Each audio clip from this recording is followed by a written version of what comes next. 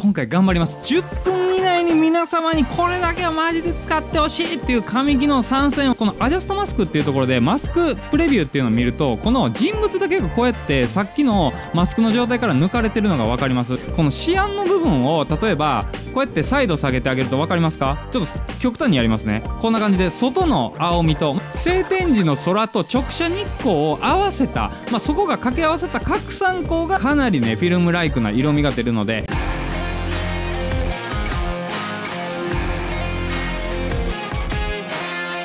どうもミリオネアのウェディです。僕たち映像制作とか音楽制作に特化したことを日々 YouTube に上げているんですけども今回はですね DaVinci Resolve の19ベータ版が出ましたということで今回頑張ります。10分に皆様にこれだけはマジで使ってほしいっていう神機能3選を皆さんに紹介していこうと思います。ただの関西弁しゃべくりモンスターじゃないです。実は意外と僕あのあまり知られてませんが DaVinci Resolve の認定トレーナーというものを持っていますのでですね。あのそこはちょっとまあ信用していただいていいかなと思います。はい。でこれ言っとかないとね。ちょっとこいつ関西人おしゃべりモンスターだけは思われたらあれなんで。今回は DaVinci Resolve 19ベータ版が出たのでまあそこについて詳しくお話ししていくというよりはまあ10分以内で皆さんがまあこの3つだけは知っといてもらえるとめっちゃ役に立つよっていうところを今回紹介していきたいと思います。でまああの DaVinci Resolve 19ベータ版ダウンロードした方ももういると思うんですが僕はね今までの DaVinci Resolve まあ大型アップデート18になったりであったりとかの中で今無料版使ってる方は最もこのタイミングで有料版に乗り換えるべきじゃないかなというのも思ってます。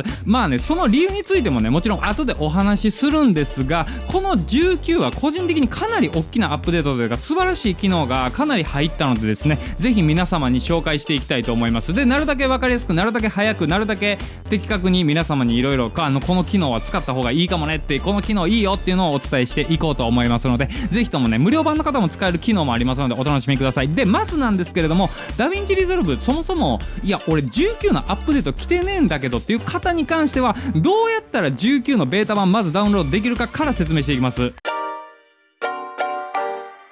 ちなみにここはあのー、10分に含まれないのでご了承ください。でやり方なんですけれども実は DaVinci Resolve 19来てない方はですねまずこちら左上 DaVinci Resolve っていうところ行ってもらってですねこの環境設定って行ってください。でこの環境設定から一般っていうところ行っていただくと新しいベータプログラムの通知を自動的に許可っていうところにチェックが入ってない可能性があるのでここをチェック入れて保存した状態でもう一回つけてください。そしたらですねあの19のベータ版がダウンロードできるようになりますのでまずこちらからね、まあ、チェック入れて19まあベータなんでまあ多少バグとかもあると思うんで一概に皆さんに推奨して絶対にダウンロードした方がいいかって言われ言えるかと言われたらちょっと際どい部分ではあるんですがまあ僕は現状今使ってて特に問題はないのでまあ19新しい機能試したいよっていう方に関してはぜひともねあのチャレンジしていただけるといいかなと思います。というわけで早速ねここから10分以内で皆さんに3つの機能を紹介していくのでぜひぜひチェックしていってください。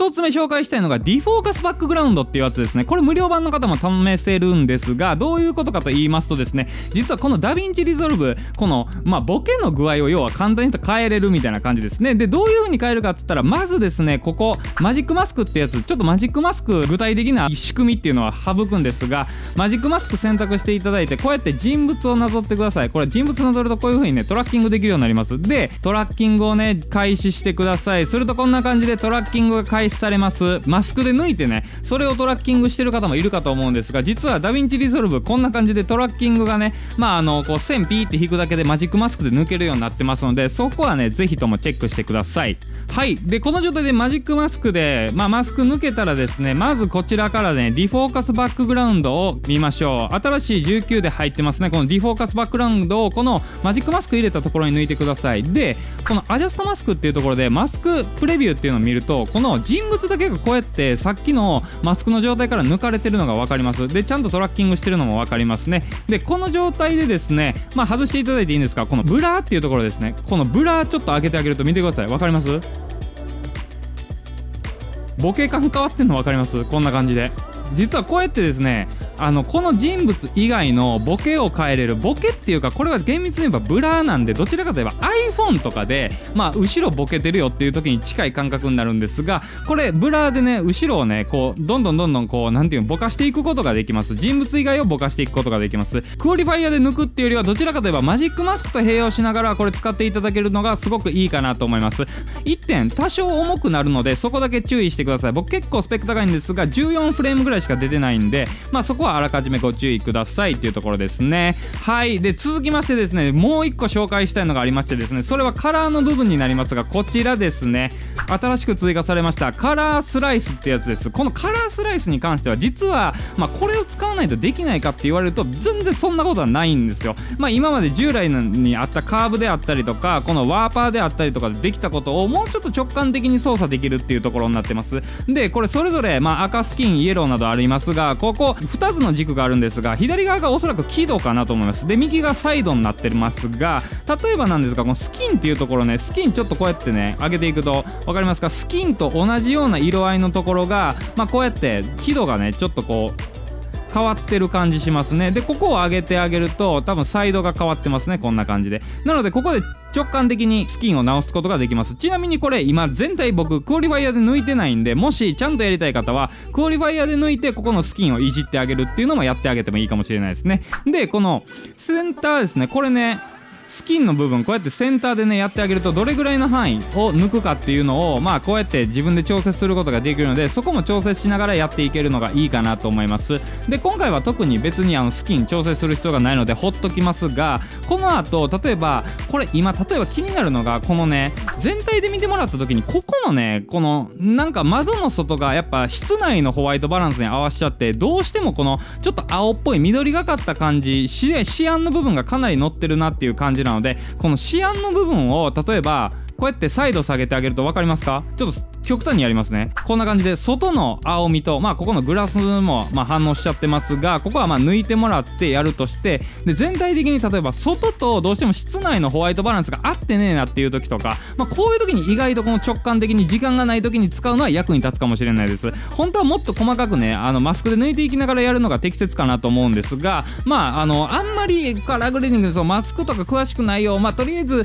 全体なんとなく調整したいよっていう方はこのカラースライス使うのが僕的にはかなりいいのかなと思います。なのでこれぜひね使える方は使ってみていただけたらいいかなと思います。もちろんカーブとか、まあ、ワーパーでも同じようなことができるので、まあ、従来通りそれ使ってる方はそちらでもいいんですがもっと直感的に色を、まあ、戻したいとか、まあ、ちょっと色変えたいよサイド上げたいよ一部のサイドとか上げたいよっていう方はこちらのマジックマスク使うのがいいかなと思います。はいで最後でございます。僕が最初に言ってなんで有料版に変えるべきかっつったらやっぱりこの Film Look Creator っていうのが入ってるんですよ。この Film Look Creator っていうのは要は、まあ、6万円ぐらいで売ってる Dehancer Pro っていうプラグインがあるんですけどもほぼそれなんですよ。ね Dehancer Pro に関しては僕別の動画出してるんでちょっとそちら見ていただいたら嬉しいんですけどもこの Dehancer Pro にちょっとかなり似ている Film Look Creator っていうのが DaVinci Resolve のね有料版には追加されました。でどんなもんかって言ったら要はフィルムライクな映像を作るってことですね。はいこちらからフィルムルッククリエイター入れていきます。でまあ例えばデフォルト 35mm フィル 35mm にするとこうやってグレインが自動で乗りますっていうところででカラースペースあの変換ここでできるようになります。インプットカラースペースっていうのがまあまあまあソニー S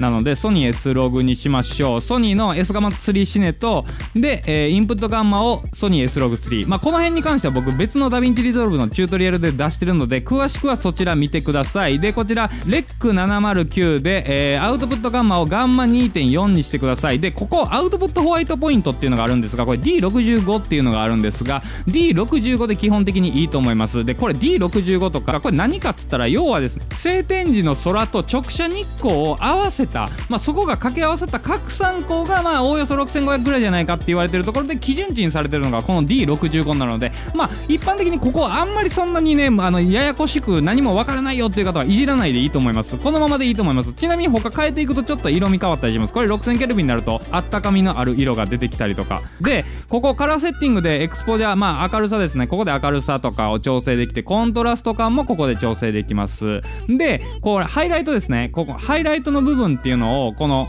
まあある程度ここで微妙に調整することができます。でこのフェードですね。このフェードが要はちょっとこう全体的にこうフィルムな感じでレンジがちょっと狭くなるって印象でいいと思います。まあちょっとフィルムルッククリエイターなんでレンジ狭くしておきましょう。こんな感じですね。でホワイトバランスもここで調整できますがこの D65 に準じて一旦ここで置いときましょう。でまあスキンバイアスとかまあこの辺があるんですがちょっと一旦この辺は置いといてリッチネスはまあサイドがちょっとこうね濃くなる感じというかちょっと濃い色味でこの赤とかが出てますね。こことかを調整できたりしますということですね。でブリーチパイパスもできますね。ちょっとこの色抜く感じとかもここで完了しますと。でここですねスプリットトーンっていうのがあります。スプリットトーンめちゃくちゃ分かりやすく言うと要はティーランドオレンジを作るっていうことの認識で一旦いいです。細かく言うとまたちょっと違うんですがまああのティールオレンジを作る時まあ実際に上げていくとこんな感じでここのねアマウント量をねこれぐらい調整していくとちょっとねやっぱり皆さんがよく見るティールオレンジな感じをねここで調整していくことができますっていうことですね。こんな感じかな。そうですね。この感じ全然変わったでしょ。ほら。ちょっとティールオレンジの色味がここで出てきました。でまあここでビネット。まあ周辺光量どうするかっていうところで。でハレーションはもちろん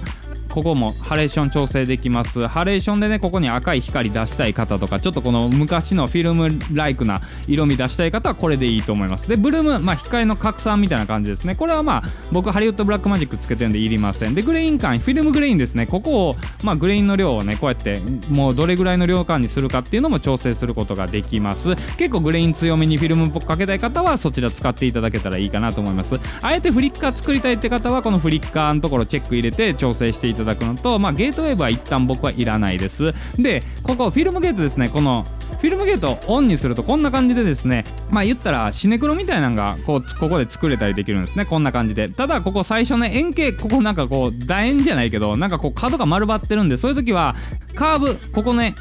チェック入れてあげるとカーブにするのかそのままにするのかっていうのを選べます。定規切ってあげるっていうのもここで調整できます。でこの全体のブレンドっていうのもここで調整できますね。こんな感じで、まあ、これ入れんかったらまあどれぐらいこの